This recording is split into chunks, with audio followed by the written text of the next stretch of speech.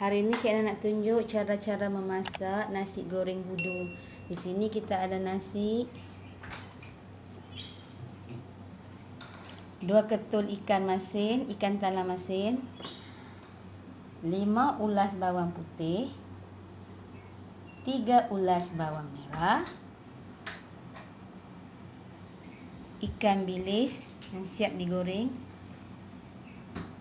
gula perang secukup rasa ha, kita guna limau nipis separuh ambil jus dia dan garam secukup rasa telur goreng tiga biji.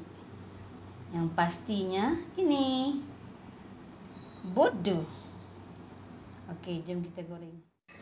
Okey, kita gaul dulu tak bagi dia rata nanti baru kita tumis bawang putih bawang merah. Ini ada telur, garam, ikan bilis, gula perang, isi ikan masin. Okey, gaul dulu, lagi baru kita goreng. Jom. Ha, nasi yang kita gaul tadi, jom kita panaskan minyak untuk menggoreng.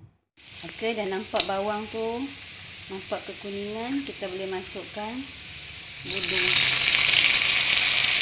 Ikutlah kalau nak warna dia uh, terang masukkan lebih sikit kalau tak nak rasa masuk tiga susu besar. Okey ni tadi ayat lima. Okey kita kacaukan kita nampak dah dia, dia naik minyak eh. Kita boleh masukkan nasi. Okey. Dah siap. Cantik tak warna dia? Ha, nanti kita boleh hias makan dengan keropok, sambal belacan, timun. Jom. Ang dah pun siap. Nasi goreng budu Cik Anang. Kita makan bersama keropok, timun jepun, sambal belacan power. Jangan lupa like and subscribe. Thank you.